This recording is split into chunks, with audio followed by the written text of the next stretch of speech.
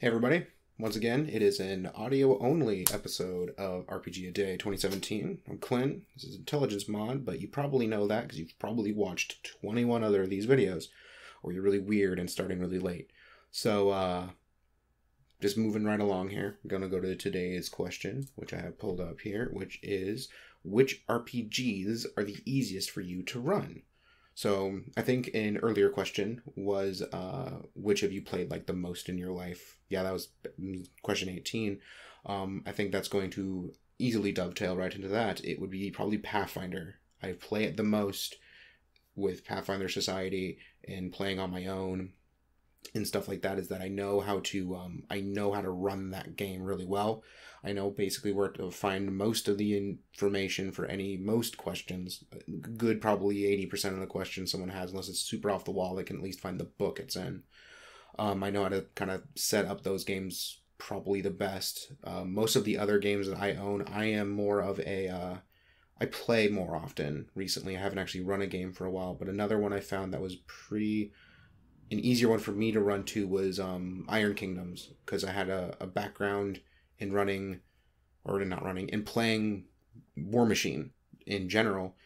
Um, a lot of the movement based stuff and a lot of the skills and how to roll I already knew how to do, so it was actually fairly easy to kind of you know move from one thing into the other. trying to sit here and think and run through all the other games I've I've played in. I don't think most of them might have any amount of simplicity to run Shadowrun would be such a pain for me. It's always a pain for me to run Shadowrun. It takes a lot of a lot of prep work for that game. Um, in some other games, like in an earlier question, I own the book, but I've never run it. Uh, I think it'd be the same thing for Exalted Third Edition. I haven't ever run that game yet, so I don't know if it will be easy for me to run. And that game took a bit of prep too. So, yeah, I'm gonna kind of be boring again and kind of say Pathfinder. I think is uh is probably the easiest for me to run.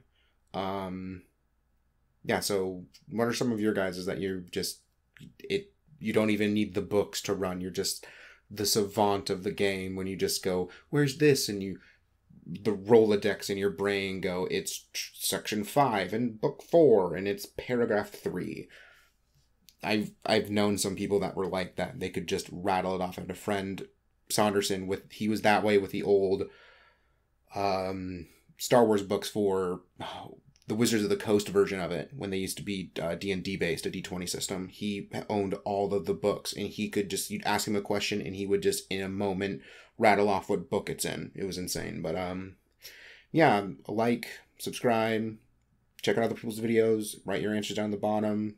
It's been super fun so far. So hopefully, pretty soon I'll be able to get back to having a video again, and you guys can actually, you know, I don't really usually like doing audio stuff. It's not as interesting. You can see me flail around and try to control my hands on video. So um, until the next one.